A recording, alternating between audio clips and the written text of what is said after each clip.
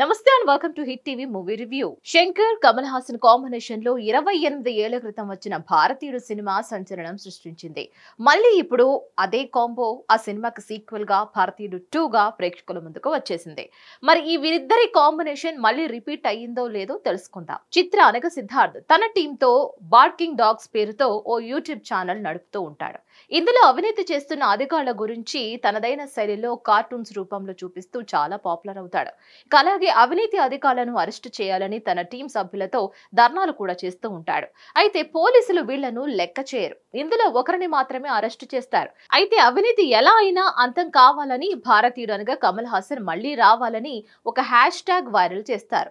చిత్ర స్నేహితుడు ఒకరు భారతీయుడు తైపీ నగరంలో చూస్తానని చెప్తాడు. అక్కడ భారతీయుడు ఒక వ్యాపారవేత్త న్యూ ఇయర్ క్యాలెండర్ కోసం కొంతమంది మోడల్స్తో సముద్రంలో చిత్రీకరణ చేస్తూ ఉంటాడు. అవినీతి పరుడైన ఆ వ్యాపారవేత్తని భారతీయుడు చంపేస్తాడు. అక్కడ నుంచి అవినీతి పరులపై భారతీయుడు వేట మొదలవుతుంది.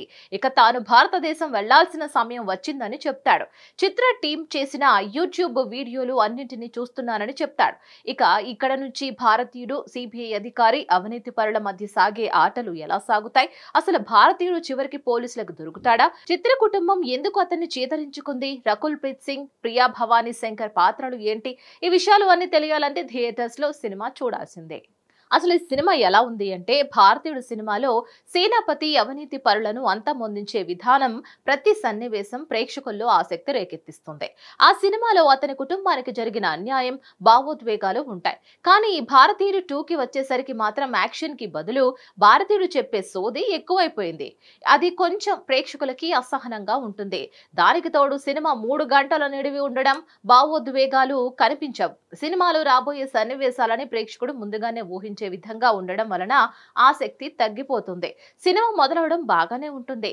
హెల్త్ ఇష్యూ ఎడ్యుకేషన్ విభాగాల్లో అవినీతి వలన ఎంతమంది ప్రాణాలు కోల్పోతున్నారు అనే విషయాలు బాగా చెప్పారు. కానీ భారతీయుడు వచ్చి ఈ అవినీతి పరులని ఎలా సమాజానికి చూపిస్తాడు?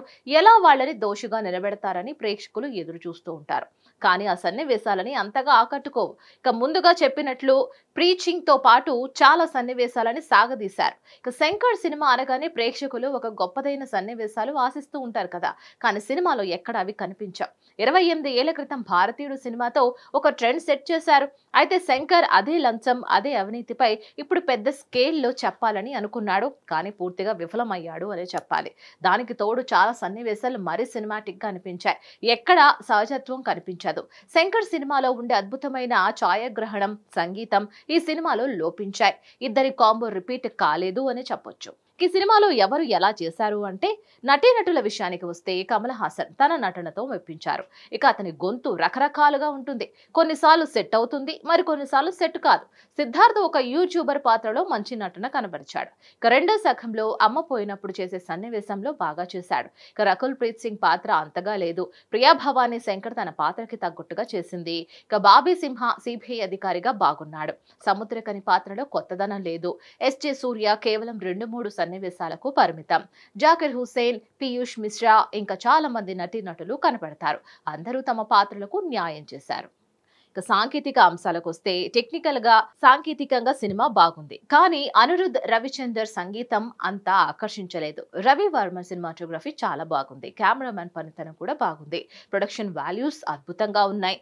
కథ పరంగా శంకర్ ఆకట్టుకున్నారు. కానీ రచన పరంగా ఆకట్టుకోలేకపోయారు. ఇక ప్లస్ పాయింట్స్ కమల్ హాసన్ నటన విజువల్స్.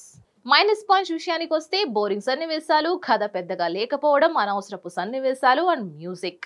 హిట్ టీవీ ఇచ్చే rating two point two five out of five మరిన్ని రివ్యూస్ కోసం please like share and subscribe to Hit TV. Hit TV యాప్ని డౌన్లోడ్ చేసుకోండి. ఇందులో short news live news entertainment movies అన్ని అవైలబుల్గా ఉన్నాయి. please download Hit TV app. Hit TV app. Hit TV యాప్ని ఫ్రీగా డౌన్లోడ్ చేసుకోండి.